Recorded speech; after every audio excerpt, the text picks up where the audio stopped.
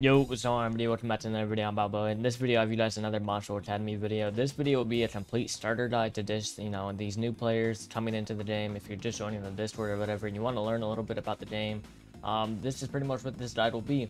So if you guys end up enjoying it, like subscribe to the channel. My current goal is 10,000 subscribers. If we can get that, I'd really appreciate it. Um, but yeah, let's get right into it. Alright, so the first thing that I want to do is explain the mechanics and keybinds of this game. So obviously, you know, you have your normal M1 string. I believe it's 5 M1s, and then you knock back. You have a right click, which is different for all weapons. Um, I believe fist and sword have one kind of like similar almost.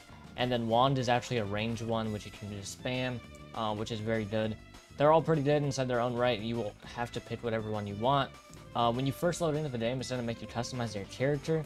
Here is where you can see what race, um, magic, and all that that you have. I'll get into those a li little bit later on. Um, but they are, you know, all very strong. Nothing is, like, completely unbalanced at this game. Even commons are still, like, some of the strongest uh, magics inside the game. Um, but yeah, once when you decide what build you want to go, once when you decide, you know, your trait, what weapon you want, um, now you actually load inside the game, you'll load in right here.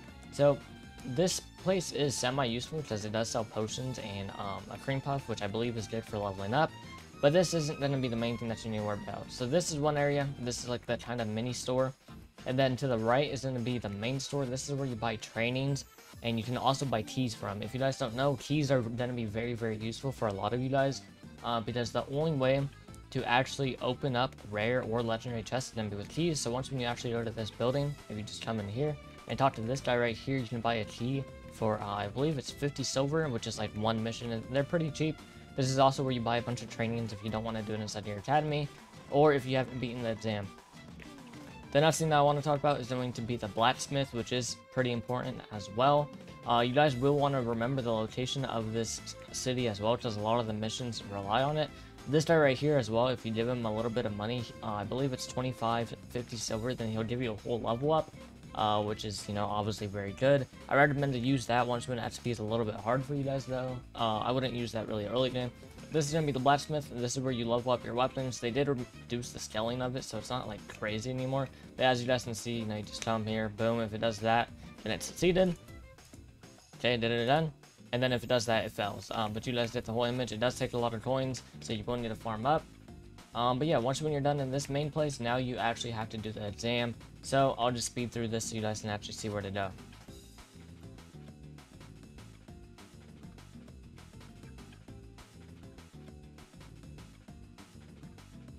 So once when you climb up this ladder right here, you guys will actually run into this place right here. And this is where you actually get into inside your academy. You have to beat the exam. I have a whole different guide for the full exam.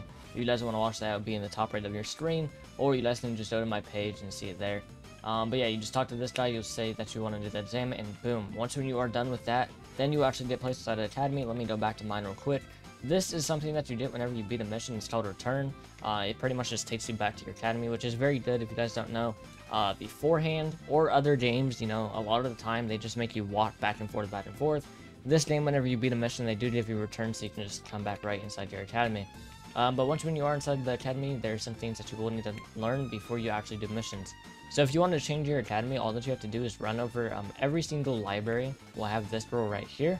Talk to her, give her a thousand silver, then you can actually switch to that academy. So let's say if all your friends buy this game, and you know you're all inside different academies, you guys can just all select one and um, pay for it pretty much. Then this is where the quest board is. You just, you know, get quests there. Um, at least for Watches, this is where the training is. But once you guys see all these markings on the wall, you guys see all these trainings, this is where you will actually train to get stronger. I'll run through what all of these do. So this one is a training vest. It trains durability, obviously. This one, some other people actually have to hit you, so it's good if you have like a friend playing with you. This one is a boulder, which also trains durability, but you have to do it solo. Um, and you can get crushed by it. So, you know, if you buy one, you train for a little bit, and you're about to get one tap, put the boulder away, the HP will save, and then you can bring it back out once when you're back at full HP and actually use it. Tire trains stamina, you just run around. Both of these train strength, that should be pretty obvious. Both of these uh, train magic, so the magic carpet and then there's also the Book of Intelligence. Um, this one really just depends on you. Obviously, the more expensive one will train you faster. Then over here is going to be the ankle weights. This is actually where you train um, speed or agility. And then once you're done with all that, you guys need to know what build you want to go. Um, I'll have a whole different video explaining what builds I think best, but I'll just go through it real quick. So obviously you have your magic, you know, you guys can pick whatever magic you really want. All of them are pretty even in the same. Then you have your weapon. Every single weapon has three skills. Uh, for example, sword is very diverse, so it has a long range move, it has a counter move, and then also a dash move.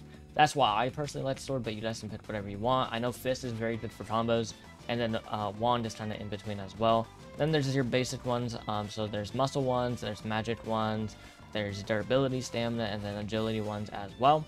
Um, but once you guys figure out what build you want to go as well, it is going to be like Deepwoken where you want to know your build before you guys actually do start playing. But now you can start driving quests. So once when you're level 1 to 25, you guys will have beginner quests.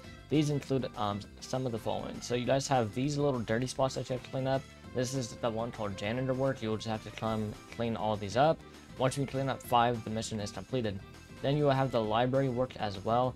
This one, you just don't set the library. Any of these things that are giving dust particles, you just tap on them, boom, pretty easy. Then there's one, I believe it's called outside work or something, lawn care. Um, any of these tall green patches of grass, you just click on them. It only requires three, and then you guys actually will complete it. And then there's two more missions, which are um, actually killing NPCs. Um, these include the turnip, which will actually just be a you know, little white thing in the ground. I'll show a picture on the screen right now. And then there will also be the road ninja or something like that. Uh, maybe road wizard, whatever it is. Um, pretty much all that you need to do is um, walk out to the forest. The forest will always be straight out of your academy. And then pretty much all that you have to do is walk out there. You will see a campfire. Just stay around the campfire. And then once when you see an NPC spawn, that is what it will look like. Um, but yeah, then, once you're done with that, you get to the level 25 missions. These go all the way until level 50, then you get harder missions, so on, so on. Um, but yeah, now to the actual, like, combat. The combat is pretty basic. There's some things that you guys will need to know. But basically, the tips that I can give you guys is make sure that you remember to use your magic. A lot of people in this game forget to use their magic and um, kind of lose because of it. The magic, you know, if you guys don't know, this game is based off the anime Mashle, which is primarily focused on magics. Um, so, you know, obviously you do have to M1 still, but you know, magics are also very, very important to this game. So when you are fighting, just remember that you do have magic and other skills to assist you. Uh, it's not only M1s like other games. You also have to remember to use your crit because those are also very, very helpful. Um, to slide, all that you need to do is press left control. I recommend to play this game in shift lock, that much should be obvious. Um, but yeah, other than that, you know, that's pretty much just the starter guide for you guys.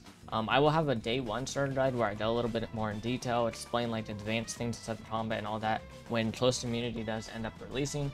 Um, but this is kind of just a short version for you guys that are starting the game right now or that are going to start the game in the future. Uh, just trying to explain the name. If you guys enjoyed, like and subscribe. And yeah, I'll see, pretty much just see you guys in the next one. Um, I'll have a combat guide maybe out tomorrow, just explaining, you know, like really advanced stuff about combat, ways to like trick your opponents and things like that. Um, but that's pretty much it for me. If you guys have any questions, you guys can just ping me inside the Mashle Academy Discord or join my Discord down below because I will be posting a lot of videos on this game. Um, but yeah, I'll see you guys in the next video. Peace.